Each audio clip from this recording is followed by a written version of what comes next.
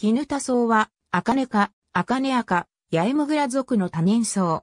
根は、木赤色で、髭状になる。茎はあまり枝分かれせず、直立し、高さは30から60センチメートルになり、無毛。葉は4個が輪生し、角、輪が隔たって茎につく。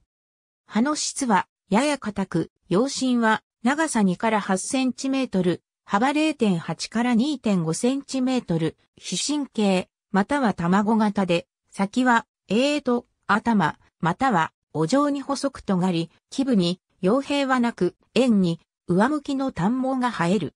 歯に3本の葉脈が目立ち、脈状にも上向きの短毛が生える。臨生する歯は、耐生する本来の2個の歯と、残りの2個の歯と同型の卓葉となる。夏季は7から9月。茎上部に円錐状の臭酸化状をつけ、まばらに多数の白色の花をつける。果敢は、杯形で、計 2.5mm、先は4列時に5列する。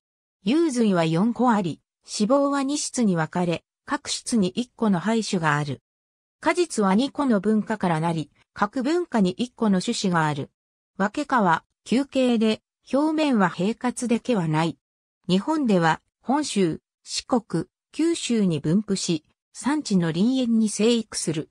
世界では中国大陸に分布する。和名絹田草は、絹田草の意。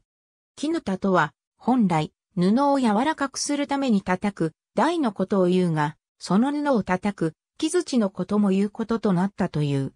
絹田草は、本種の果実の形をその木槌、絹田に見立てたものと思われるという。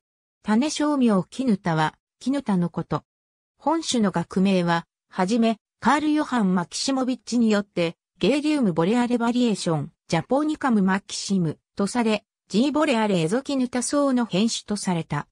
その後、牧野富太郎及び中井武之進によって、ジー・ジャポニカム・牧野稲海とされ、独立種として階級移動された。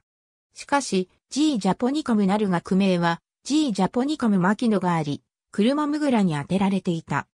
このような混乱から、中井武之進及び原博によって、G 絹田中井 H 原に改められた。ありがとうございます。